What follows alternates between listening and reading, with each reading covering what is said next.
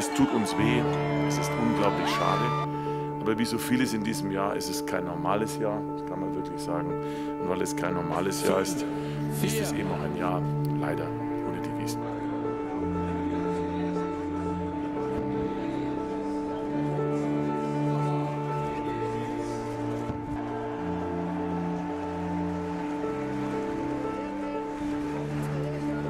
Wir alle kennen die Zahlen. Die Wiesn hat ungefähr ein Wertschöpfungspotenzial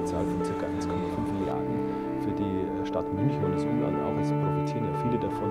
Das sind ja nicht nur die, die auf Oktoberfest sind, ob das jetzt Wirte sind, Schausteller, auch Mandelverkäufer, kleine Souvenirläden, sondern viele drumherum, die davon profitieren. Die ganze Stadt, die Hotellerie, die Gastronomie, der Einzelhandel und äh, auch Taxigewerbe zum Beispiel. Und all diejenigen sind davon betroffen. All die haben natürlich jetzt finanzielle Einbußen und das wird man schon merken äh, auf die Dauer, dass der Stadt da einiges fehlt. Ja.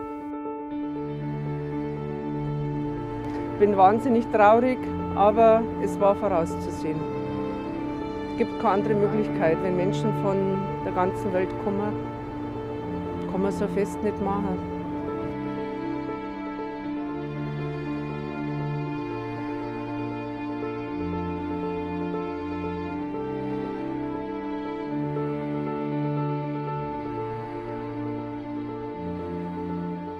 Es eine tolle Entscheidung. Mein Respekt an Söder und an Reiter zusammen, wie die das machen, wie die das handeln. Ich bin so dankbar, dass wir so einen Landesvater haben, der das so gut hat. Nächstes Jahr gibt es auch wieder, und dann gibt es wieder Wiesen und dann gehen wir alle ganz gern wieder hin.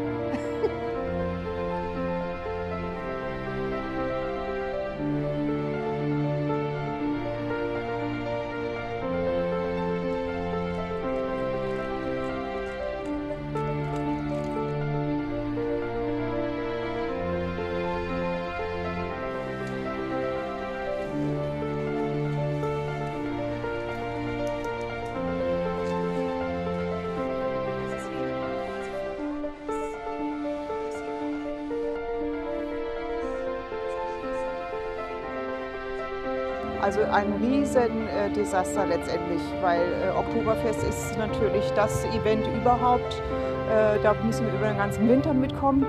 Jetzt ist ja sowieso schon, äh, dass kein Tourist mehr kommt. Die ganzen äh, Gastronomiebereiche sind ja zu.